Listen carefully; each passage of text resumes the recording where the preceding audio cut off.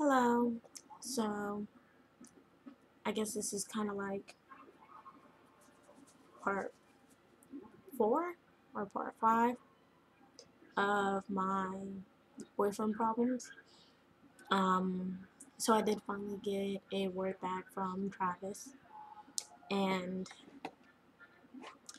basically he's mad at me because I fell asleep and he he lost out time on hanging out with his buddies.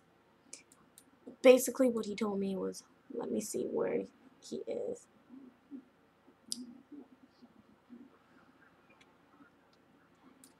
He said, It's because I wanted to either play Eve with Zach or go to my cousin's and hang out with him, staying in for the night. That is why he was pissed off at me. Because he lost, he wanted to do what he wanted to do. He wanted to go hang out with his friends or cousin and stay in instead of going to the movies with me.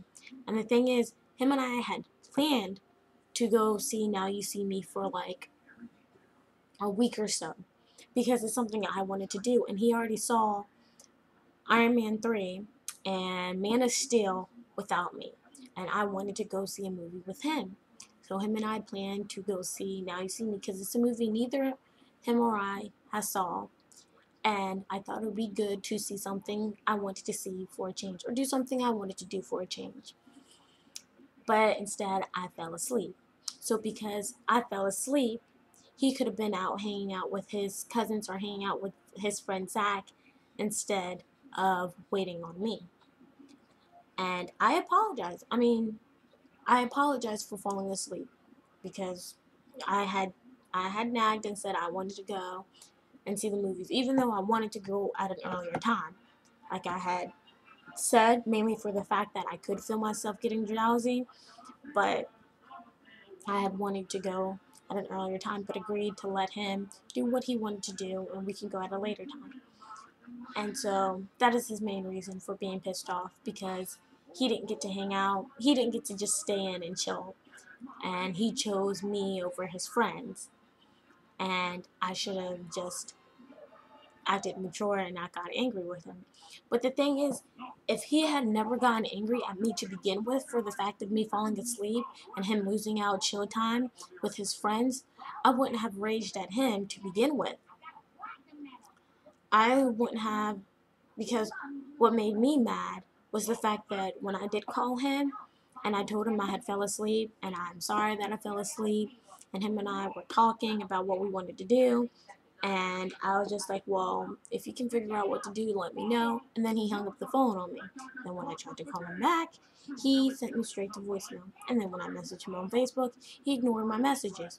And that's why I raged at him when him and I didn't meet up and we did hang out. Because he made me feel like crap. Like it was, like I shouldn't fall asleep. Like, Amaya, how dare you fall asleep on me? Like seriously, I'm a human being. I I was emotionally exhausted from school, family problems, work. Of course, I was going to fall asleep. I mean, he he used to fall asleep on me all the time, and I and yes, I'll admit, for I used to get really really angry at him for it. And but then him and I talked, and I got over it because he was working two jobs, so he was gonna have a stressful life and stuff like that. But I don't think it's fair that he's mad. He got mad at me for the fact of me falling asleep. I think that's so immature.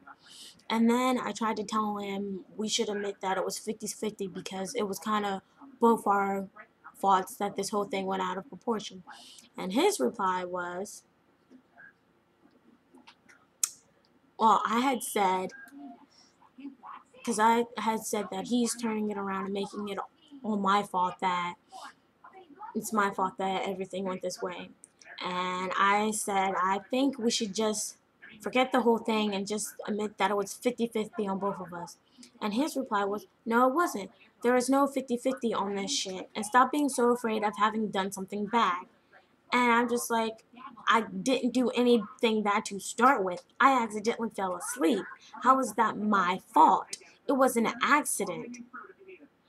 Like, seriously. And I'm supposed to accept the fact that you're going to hang up the phone on me and make me feel like fucking crap because I fell asleep and you didn't get to hang out with your bros and stuff like that, even though we had planned to go to the movies. And then you want to turn and say I'm immature? How the hell am I immature when I'm the one apologizing and telling you I am sorry for falling asleep? And then you still want me to say this whole entire thing was my fault. If you had been mature enough like you want me to be, you shouldn't have gotten mad at me and hung up the phone and we could have figured out what to do. And I admit that I should not have raged at you when I got into the car. And I should have talked to him instead of, well, not even tried to talk to him. I should have just put it on the back burner. Been like, okay, I will ignore it. I will let it go because he was mad and he probably did want to go hang out with his friends. And I'll ignore it. And we'll just go hang out and have a good time because we did plan for this day. And then later when we had fun and probably got some alcohol in us, maybe bring it up again and be like, so are we good about the whole issue back then? Or are you still going to hold that against me? Because I don't think you should hold it against me. It was a slip up on my part. We got to hang out anyway. And he could hang out with his cousin and Zach anytime he wants to. Because he has until July 9th before he goes off to boot camp and he can hang out with them anytime. And I don't get to hardly hang out with each other because I live at home with my mom now, and he lives with his parents as well. And we and we both have to move out of the apartment because he wanted it. I didn't want to move out, but he was tired of taking care of two adults. He was taking care of me, and our roommate decided not to pay his half of the rent. So he decided, well, I'm going to back out and I'm leaving. And I couldn't afford the, I didn't want to stay in the apartment with that roommate. He was an alcoholic drunk. Well, not an alcoholic. He was an alcoholic. I shouldn't have said drunk. He was an alcoholic. And I did not want to stay in the apartment with him. So, of course, I left too, and I had to move back with my family. And now there's drama with my family because my family thinks I'm juvenile and immature and stuff like that.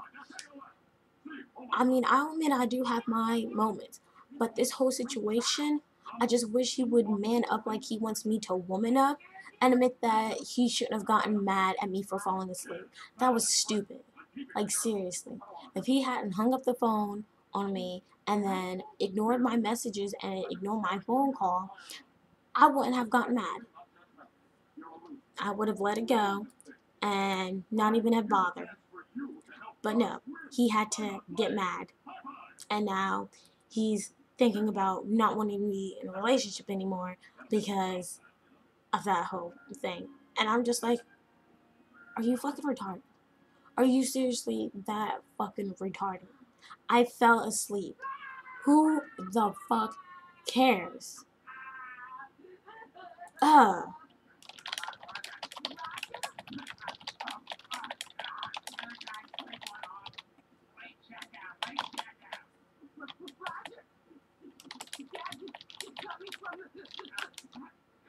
I'm making that smell? I am.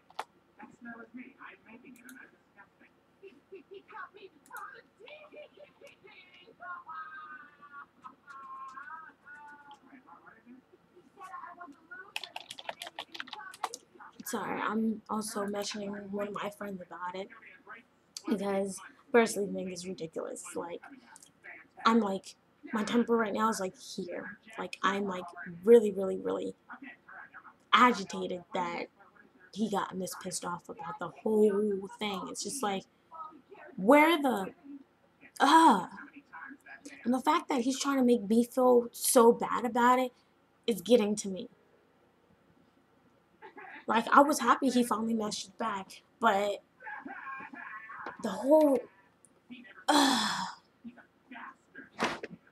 know what? Forget it. I'm over it. He needs to win so badly. Like, I believe that couples should admit their faults.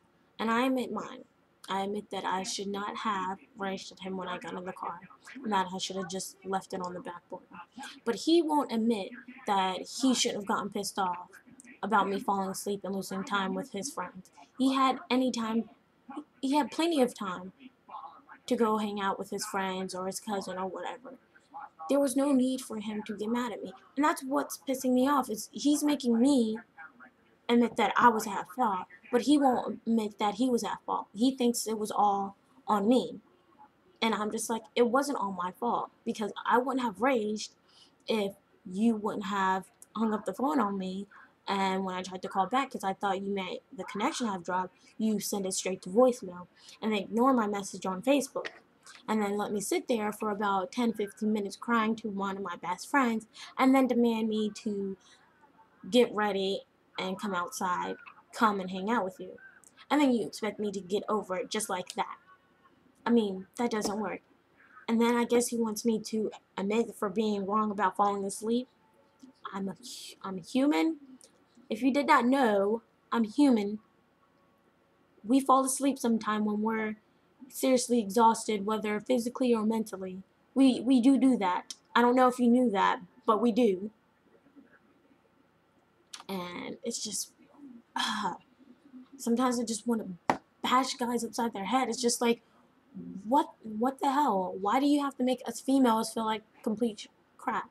And I'm not saying it's all guys. It's just a lot of guys do it and make a lot of us females feel like complete crap, and it's pissing me off because I do not deserve it. I do not.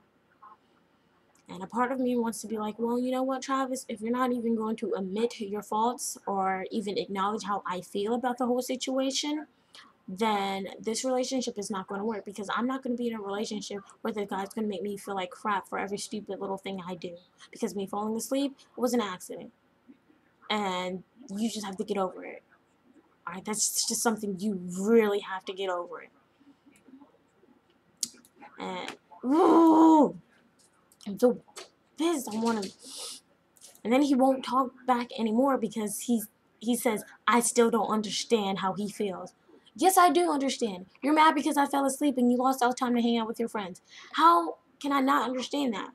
I understand it perfectly clear the first time you told it to me. I am sorry I fell asleep and you lost out on road time with your friends. But we had planned for the movies for a while. That is something you just have to get over. And it just ah, pisses me off.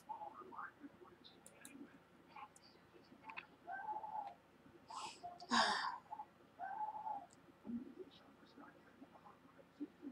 think my blister's back on my foot.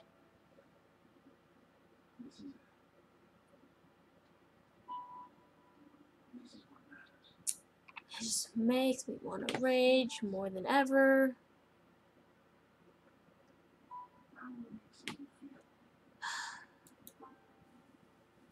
Sometimes I kind of feel like I shouldn't have broken up with my ex-boyfriend Robert because he probably wouldn't have gotten mad at me for stuff like this. He'd probably been like, okay, I understand. You have school, your family's stressing you out, and every other little thing is just stressing you out. So I understand why you you fell asleep. And little ass tat Travis still won't turn the phone back on, and that's what pisses me off the most. Is that he used this whole entire thing and cut my phone off, and still wants to say I'm immature. And if I'm wrong, somebody please tell me. Write me a comment and tell me, Amon, you are so wrong. You should admit that you were the whole entire situation was 100% your fault, and Travis deserves better. And then I'll admit, okay, I was wrong. I was completely wrong. I should not have fallen asleep, and I should have been awake so Travis and I could have gone to the movies. Or I should have just messaged Travis and be like, hey, I'm sorry I fell asleep. Go ahead and hang out with your bros or do whatever you want. We can hang out another time. I'll admit, I'll, uh, if somebody, well, if 10 people say I'm wrong, then I will admit it. But I personally don't think I was in the wrong. I, the only thing I think I was in the wrong for was raging at him. But other than that, no. Mom, no self-respect in mind. It's not shut up. Steve, here he comes. Hey, behold, the grown man weeping like That, that was your plan? You crying? But- I'm crying. He hit me with a chair. Okay, different plan. You hit your dad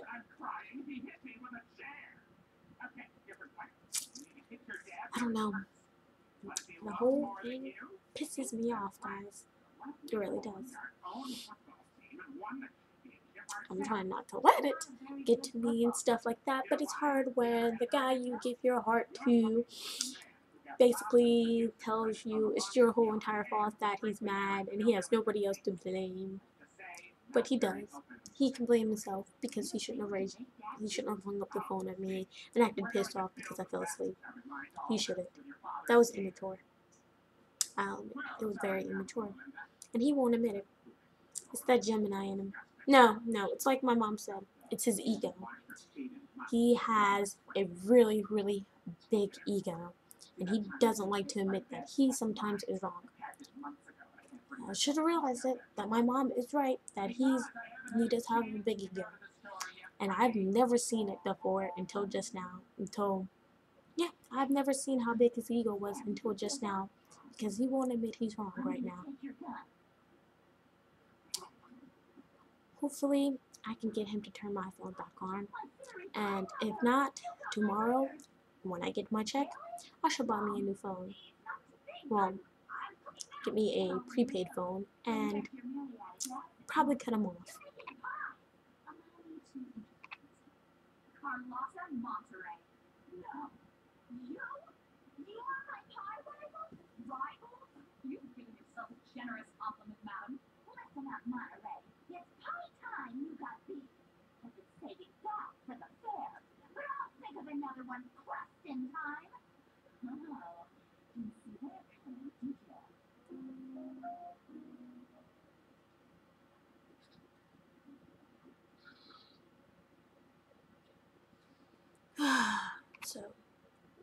but I'm hoping that eventually he'll learn to grow up and realize that the whole situation was 50-50 and that we can move on from it and either A, try to continue working as a couple, or B, realize this is stupid, neither of us are ever going to work out, we just might want to cut our loss and head different ways. And it would be a shame because, again, there is a chance I might be pregnant with his child. Because I know for a fact it would be his because he's the only one I've had sex with. Because my period is two weeks late and I've been having slight nausea. So, and another thing, I did take a pregnancy test, but it was um, a dollar store one. And I, I think they're kind of cheap. I don't know if they really work or if they have good results, but yeah. So, yeah, I'm just hoping that this whole thing will eventually blow over and he eventually will talk again.